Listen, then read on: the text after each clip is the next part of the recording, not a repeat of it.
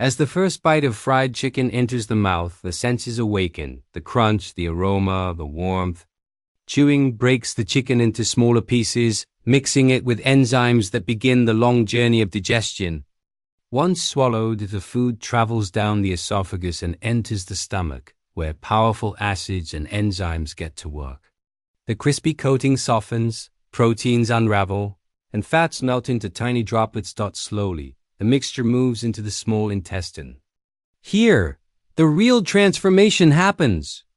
Nutrients from the chicken, proteins, amino acids, vitamins, and fats are absorbed through millions of tiny villi and carried into the bloodstream.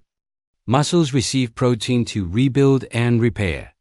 The brain uses amino acids to support focus and mood. Energy flows through the body. Dot at the same time, the liver processes the oils, deciding what to burn and what to store. If the meal is heavy, the stomach may feel slower, signaling fullness and fatigue.